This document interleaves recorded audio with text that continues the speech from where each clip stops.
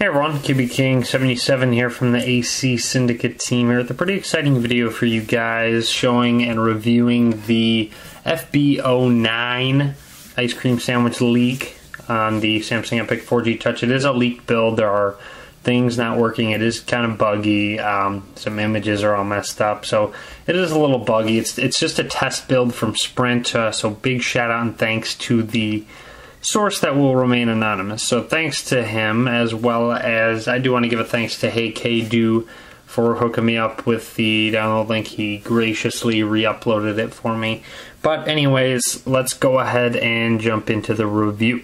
So first of all, I do want to show you guys, I'm going to go to the menu button. As you can see, this menu is a little different already. Uh, go to settings. The settings menu is just like Ice Cream Sandwich, a little bug. You'll see a red outline around my screen as I run through some things. Um, see if I can get to pop up. But you'll see it throughout the review. That does pop up, which is a bug. But as you can see, it looks like the stock settings menu, but it is themed with the TouchWiz icons, of course. TouchWiz, you'll find TouchWiz being uh, use quite a bit in uh, in this build. So it's actually kind of disappointing that they themed this so much with the TouchWiz overlay. But anyways, as you can see, Android version 4.0.3 right there. Build number FB09 test. So it is a test build, as I said.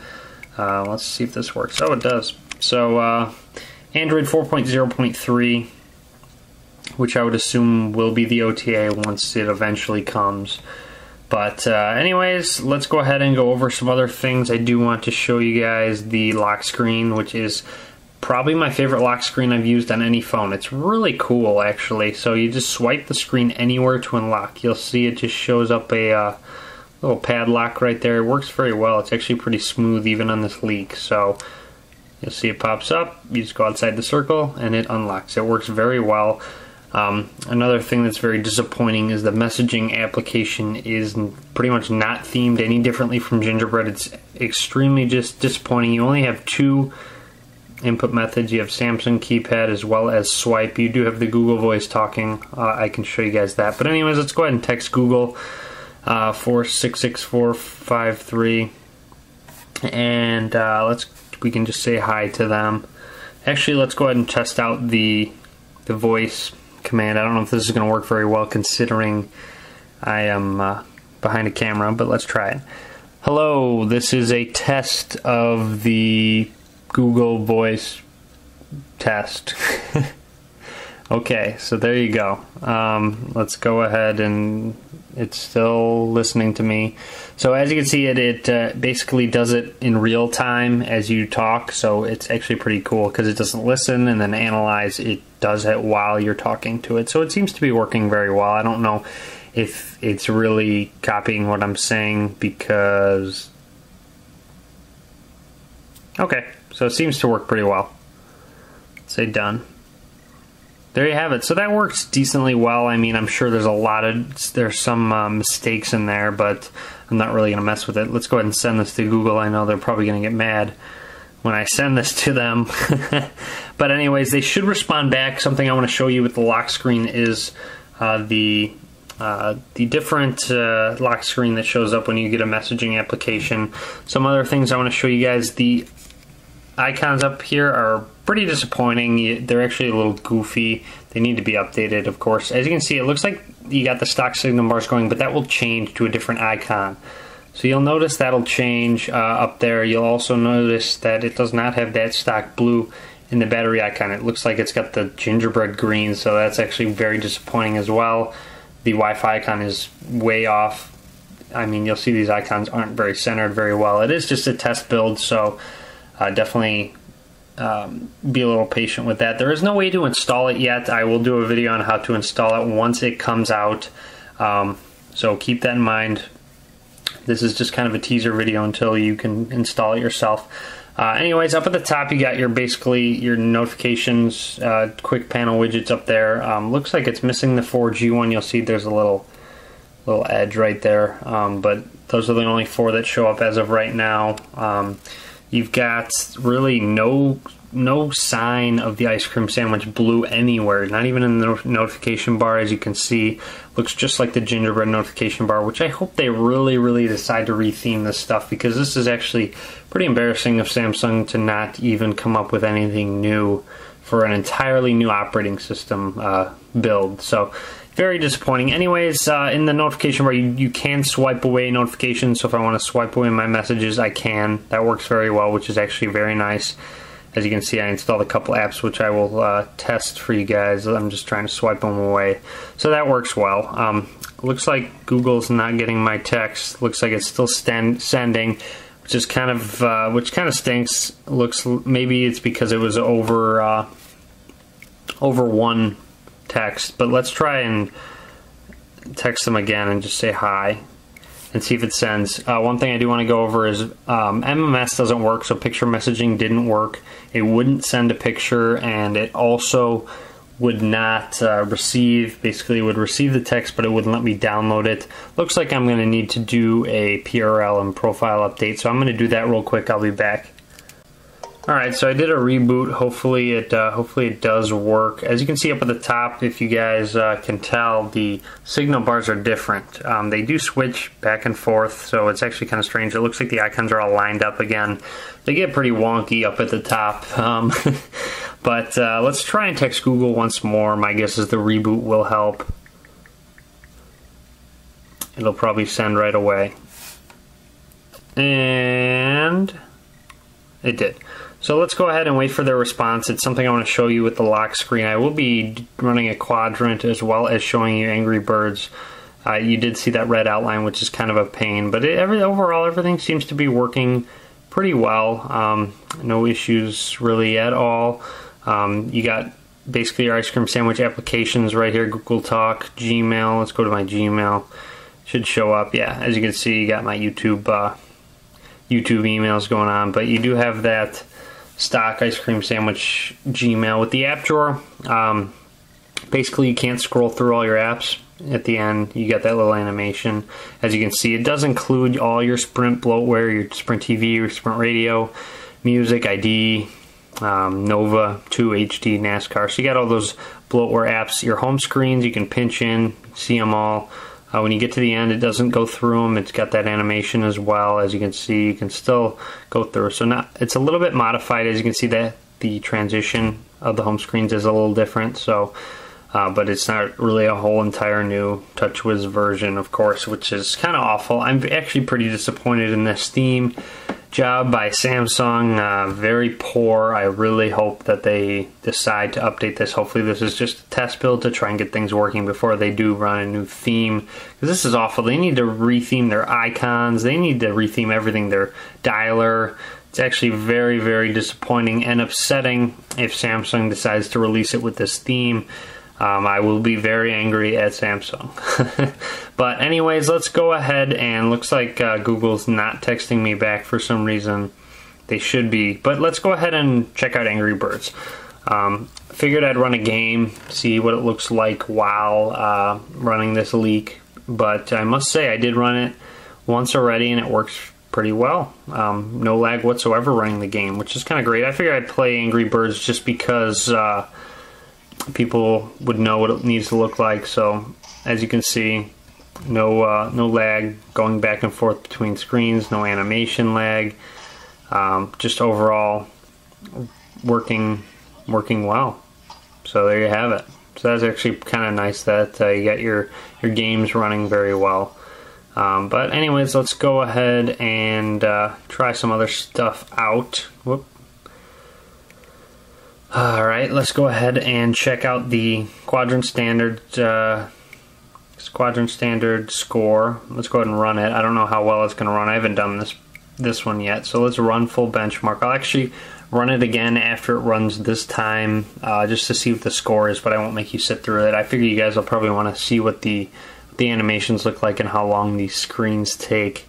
Looks like CPU is taking a long time be interesting to see if any developer can turn this into basically a daily driver. I mean, um, it's got a lot of issues. It looks, it kind of seemed like it had lost a signal issue, considering I couldn't send any text messages, which is kind of a bummer. So that's interesting, as well as you can't you use MMS. At least with my testing, you couldn't. Maybe there's a workaround. I don't know.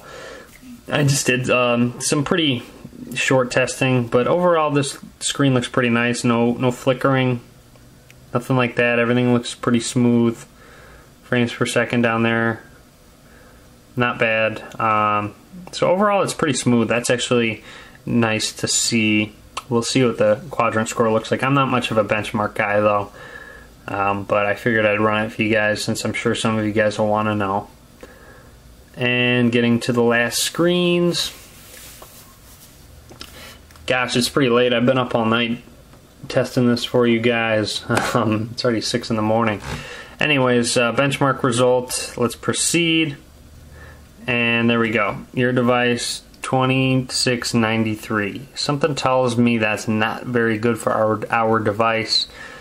Uh, but I don't know. Actually, looks like Samsung Galaxy Nexus on stock is right there, so maybe that's a good sign. I don't know. What, I honestly couldn't tell you. I don't run benchmarks, so I don't know if that's good or not. I will put an annotation. I'll do a little research and decide. Looks like it will be, considering it's on stock and Galaxy. Ne- it's higher than the Galaxy Nexus as well as the Galaxy Tab. So that's actually kind of exciting. So I don't know what that means, but it is pretty exciting.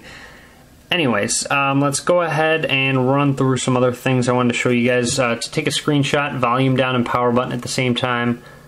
Press and hold it, takes a screenshot. It's no more, uh, I believe it was home button and power button to take a screenshot, and then you got a little preview of it, letting you know it got captured. You do have that carousel effect going on where it will uh, basically you can swipe away your applications that are running. So I do want to show you guys something. So if I go to my messaging and hit home, it'll obviously be running in the background. I can press and hold the home button, go to my task manager, and you'll see the messaging app is in my task manager as a running application. So I will go to my carousel right there, uh, my recent apps, running apps, and I will swipe away messaging and I'll go back into the task manager. As you can see, it won't be there.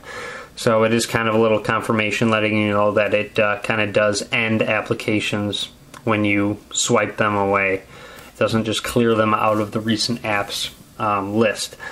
But uh, other than that, I'm still kind of waiting for that text message to come in. Maybe I'll text myself real quick.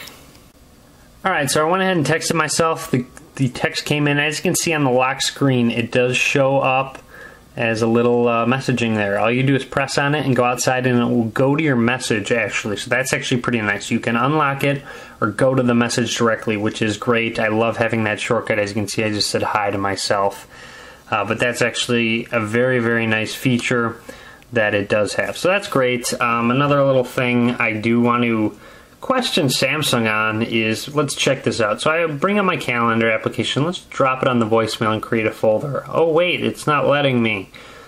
I don't get that at all. Why they didn't include that. Oh, once again, this is a test build, so hopefully they do start to include these things. But if they don't, Samsung probably will be hearing me from me on their Twitter. So we'll see what they decide to do with future builds. This is an earlier leaked build, FB09.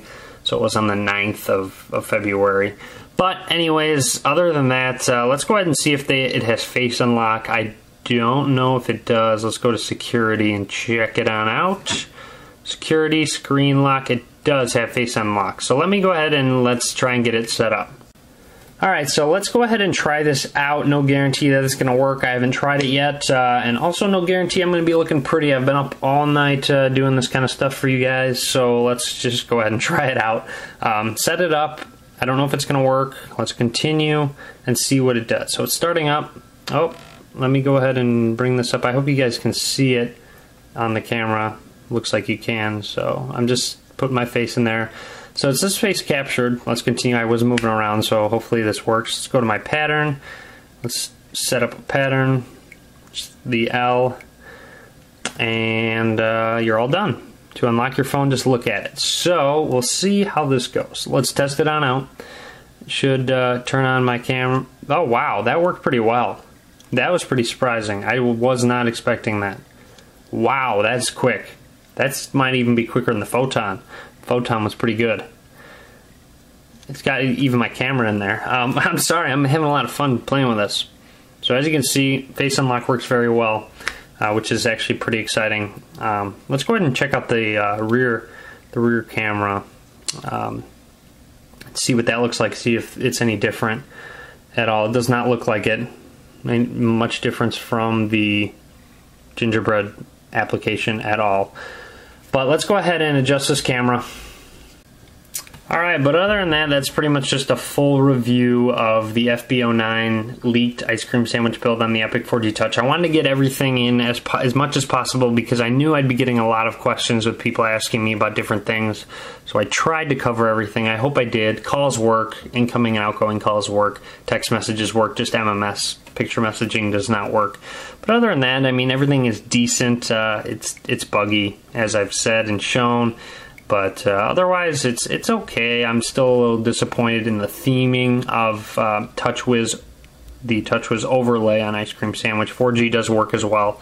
In case you were wondering, I didn't test Bluetooth or GPS, but uh, maybe someone else can do that once we get it working for you guys. But uh, stay tuned for a how-to video. We, I will be doing that. Be sure to subscribe to me. Uh, click that subscribe button. Follow me on Facebook, Twitter, and Google+. Plus. All links will be in the description of the video below. As always, thank you for watching. Be sure to give this video a thumbs up.